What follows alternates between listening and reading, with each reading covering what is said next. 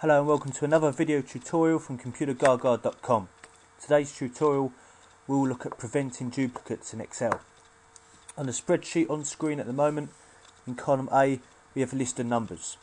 These numbers might represent invoice numbers or product codes, but it is some value that we cannot enter more than once.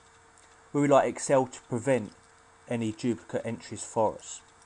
To do this, we'll use the data validation tool. First thing we want to do is select the whole of column A. So it doesn't matter what row we are on, whether it's row 50 or row 5000, Excel will continue to prevent us entering duplicate values. With column A selected, we'll click on the Data tab and then on the Data Validation button to open up the Data Validation tool.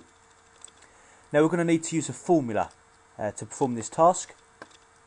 So from the Allow drop-down list, we choose Custom and in the formula tab we're going to use the count if function.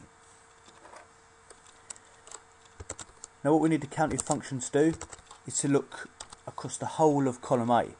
So we need a dynamic range. I'm going to enter A1 to start with, with the dollar signs to fix or make that cell reference absolute. And for the other side of the range, uh, the other end,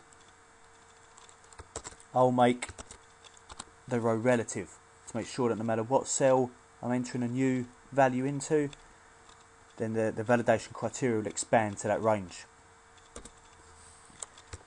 Also need to enter a similar thing for what we're actually going to check.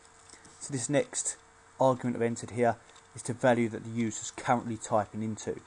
So it's going to look at that value, currently A1, but that will that will expand with you know, it will be whatever cell you have selected and it will check it against every other value in that range and count how many times it occurs.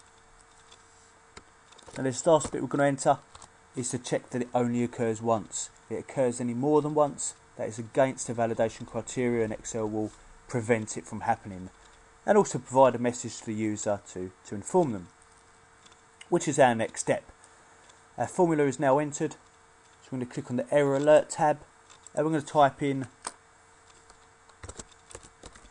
an error alert or a message for the user so they are aware of what's going on, what they may have done wrong, uh, and can hopefully rectify it. You have entered a duplicate value. And I'll click on OK, and that should be it done.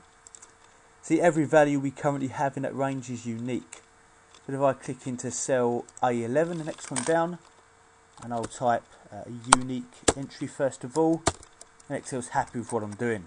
In an Excel, if I type one that already exists, I get the error alert uh, with our customized solution saying that we have entered a duplicate value.